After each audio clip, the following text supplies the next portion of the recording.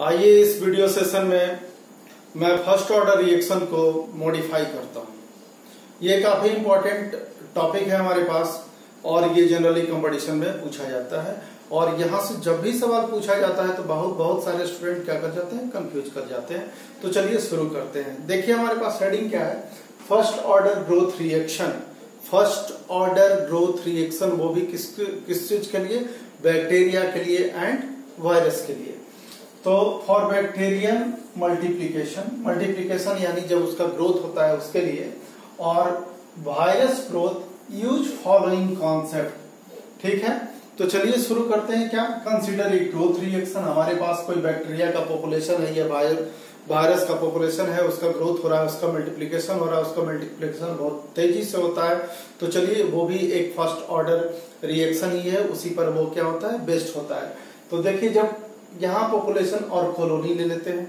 Colony इस वजह से कहते हैं कि जब बैक्टीरिया का ग्रोथ होता है तो सब एक ही जगह क्या हो जाएगा? एग्रीगेट हो जाएगा। तो इस वजह से उसको हम क्या कहते हैं? कॉलोनी कहते हैं। तो चलिए, जब टाइम आपके पास कितना है? ज़ीरो सेकेंड तो आपने जितना बैक्टीरिया लिया है, उस पेट्री डिश में उतना ही रहेगा। उससे ज़्यादा होने वाला नहीं है। तो इसलिए हमने ले लिया ए लेकिन आफ्टर टाइम टी उसका ग्रोथ होना क्या हो जाएगा? शुरू हो जाएगा।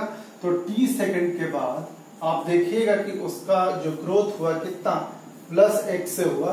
तो टोटल ग्रोथ हो गया है कितना? ए प्लस एक्स तो फ़र्स्ट ऑर्डर रिएक्शन के लिए आप इसे लिखेंगे क्या?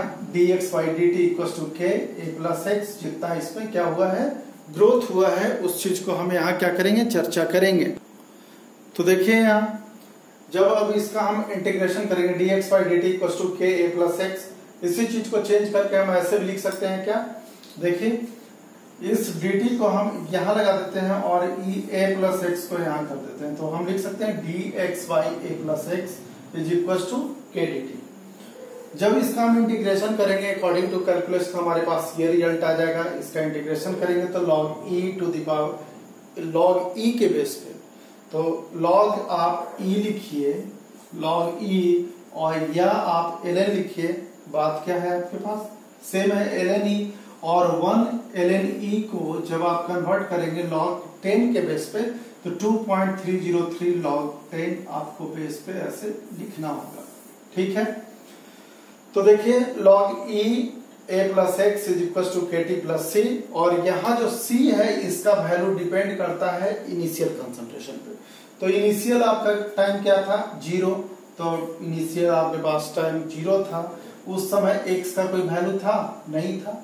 तो x का वैल्यू ज़ीरो अब x का वैल्यू इसमें आप पुट करिए तो क्या हो जाएगा आपके पास? Log e a, क्योंकि इसका वैल्यू तो zero is equal to k t ये भी ज़ीरो क्योंकि टाइम का वैल्यू क्या? तो ये पूरा कंपोनेंट आपका ज़ीरो तो c का वैल्यू हो जाएगा log e to the power a.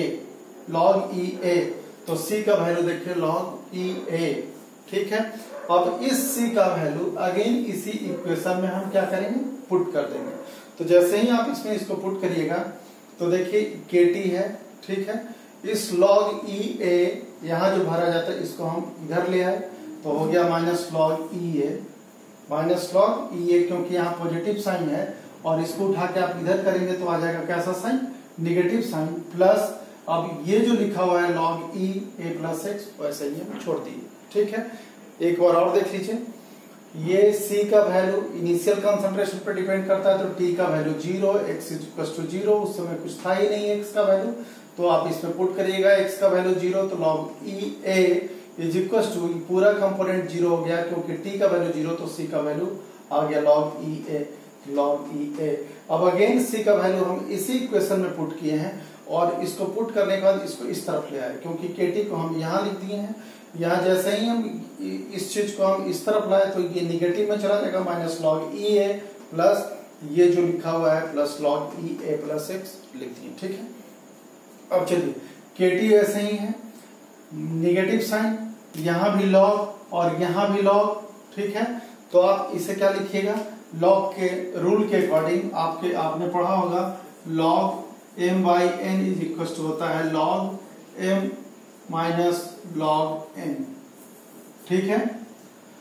तो आप यहाँ देखिए उसी के अकॉर्डिंग हम इसको क्या कर रहे हैं? चेंज कर दे रहे हैं। इसको हम इस तरफ़ लेकर के चले जाएँ। ठीक है? तो आपके पास आ जाएगा कितना? K t is equal to minus log e a by a plus x is equal to अब ये जो ई e का टर्म है आपके पास लॉग ई e के टर्म में, इसको हम चेंज करके कर दिए कितना? 2.303 बाई टी ये नीचे कर दिए log a by a plus x a by a plus x और अब देखिए, इस नेगेटिव को हटाना है तो नीचे ए प्लस एक्स जो लिखा हुआ है, इसको केवल ऊपर कर दीजिए और इसको नीचे कर दीजिए। तो यहाँ फाइनली हम के टी इज़ इक्वल टू लिख दिए प्लस साइन हो गया 2.303 by t log a plus x by a और ये हमारे पास एक फ़र्स्ट ऑर्डर का एक रिएक्शन निकल गया किस चीज़ के लिए? जब आपके पास प्रॉब्लम में लिखा रहेगा बैक्टीरियल ग्रोथ वायरस मल्टीप्लीकेशन इन सब चीज़ों के बारे में तो आप इस पर क्या कर सकते हैं? सॉल्व कर सकते हैं। Thank you